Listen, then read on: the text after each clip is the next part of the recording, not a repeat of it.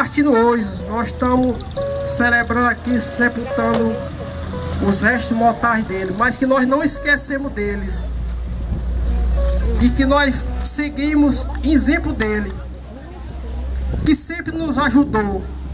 Não só a nós aqui da comunidade quilômetro 60, mas sempre a todas as comunidades da Chapada do Apuri e a quem ele pôde socorrer. Porque ele era um, um ser que veio aqui na terra, que ele para fazer o bem, ele não olhava para quem.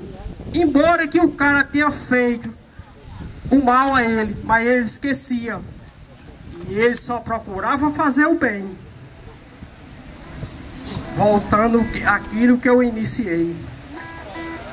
Nós que estamos aqui na terra, nós não representamos nada. Nós somos um bolão de barro que estamos aqui em cima da terra. O que nós fazemos aqui é o que representa o que nós somos.